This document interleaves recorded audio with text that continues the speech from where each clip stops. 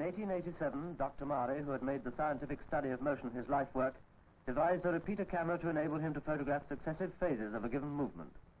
How near he came to the threshold of a new discovery, the invention of cinematography, you can see here. Simply by projecting his photographs onto the screen at the speed they were taken, we are able to reproduce the original movements. Although Dr. Marey did not discover how to do this himself, those who did owed much to his pioneer work. The first of these early inventors to give a public display of their apparatus were the Lumiere brothers.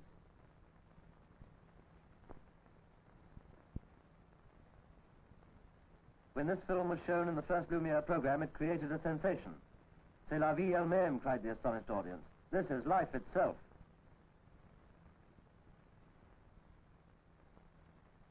But those fashions.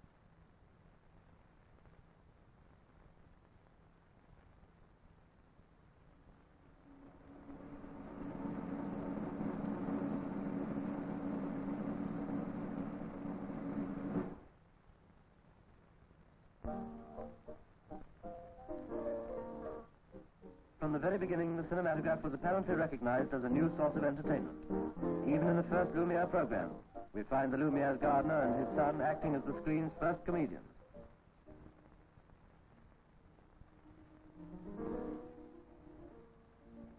When the mere mechanics of cinematography ceased to be a nine days wonder, producers conceived the idea of making films of dramatic episodes and stories. In England, one of the earliest and most successful story films was this reenactment of exploits from the life of our famous national murderer, Charles Peace. According to modern standards, this is pure slapstick, but it was made at the time as serious drama.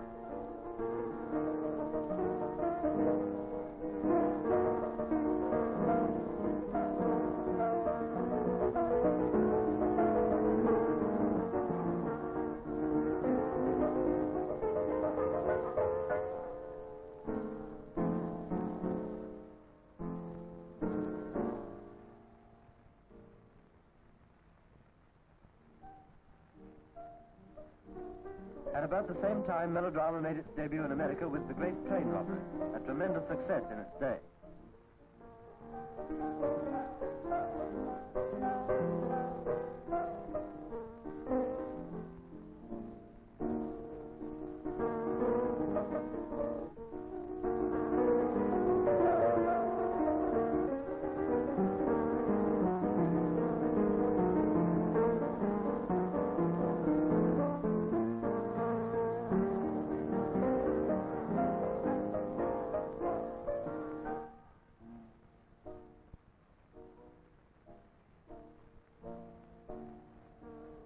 Producers also made films on the lines of the cheap romantic novelette.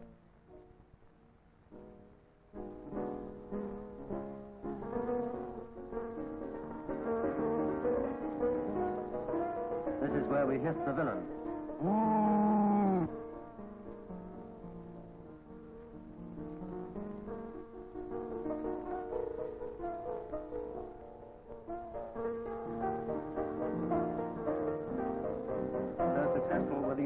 Screen melodramas that producers became even more ambitious and attempted to introduce art into the cinema by filming well-known stage players.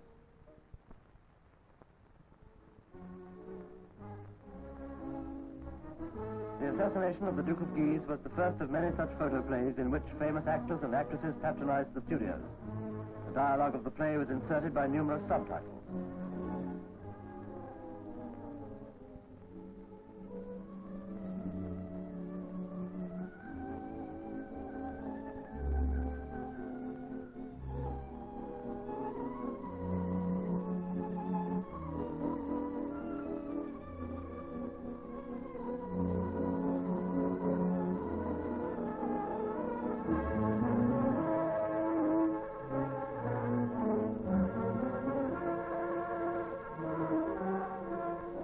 If they could have foreseen how exaggerated and even comic their performances would appear to us today, they might not perhaps have chosen to immortalize themselves in this way. Nevertheless, in their own day, they did lend a measure of distinction and respectability to the new medium. By now, however, the story film had entirely lost that contact with reality which had had so much to do with the cinema's early success. To find that, we must look elsewhere.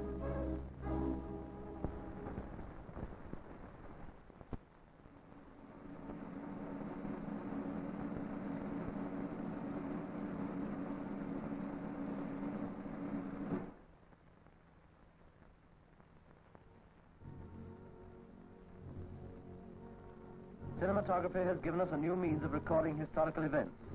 One of the wonders of a new age, it appeared just in time to capture for us this glimpse of the close of an old one. Never again did any capital see such a parade of kings and emperors.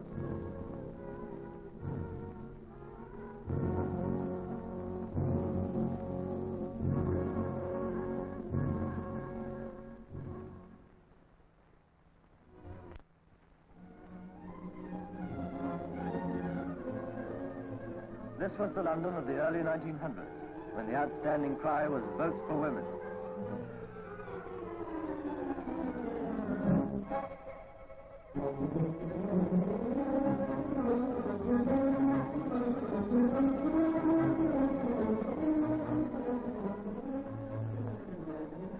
All the films we have seen till now, of course, were made as silents. Let us take a jump forward for a moment and look at a sound newsreel made only a few years ago.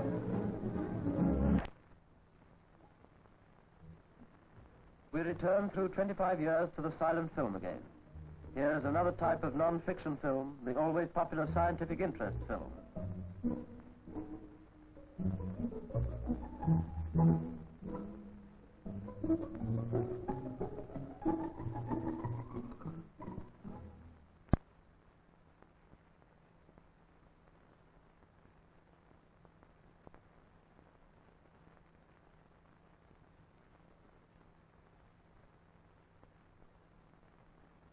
Not only did films help to popularize science, but they were of service to the scientist himself. Dr. Canti, for instance, made considerable use of the film in his researches into cancer.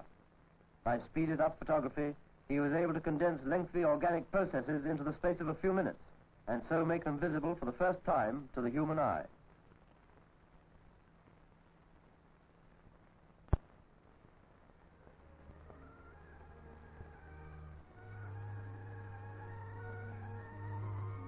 The old Secrets of Nature series is still being continued as a sound film series under a new name, Secrets of Life. The man responsible for the fascinating shots of growing plants and microscopic organisms which these films bring to the screen is Percy Smith. Here he has turned his camera onto the ordinary dandelion, while the soundtrack is used for descriptive commentary. In this case, I have the doubtful pleasure of introducing myself doing my own job.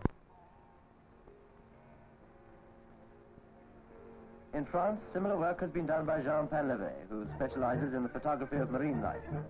This sequence from one of his recent sound films on the sand shrimp is characteristic of his poetic treatment of reality. The music is by Maurice Jaubert.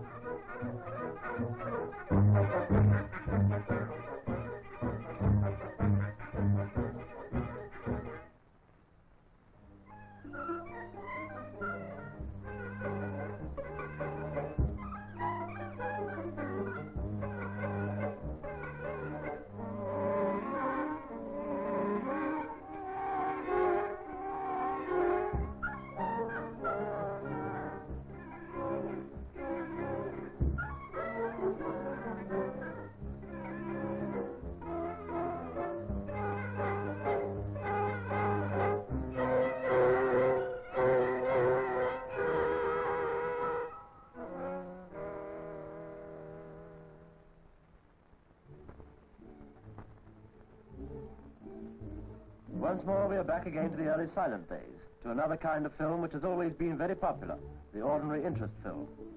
This one, sponsored by the London and North Western Railway, might almost be regarded as grandfather of our present-day British documentary.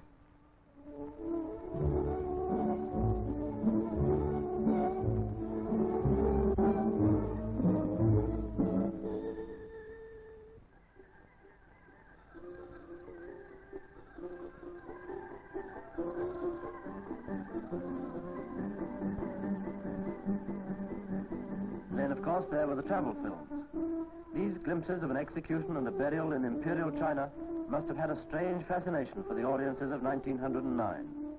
In these days of glorious technicolor and the voice which is forever bidding farewell to the natives of this place or that, we are apt to take travelogues for granted. But at that time they were still so novel and exciting that small cinemas designed as railway carriages and even given the jolting movements of a train ran programs consisting entirely of travel films.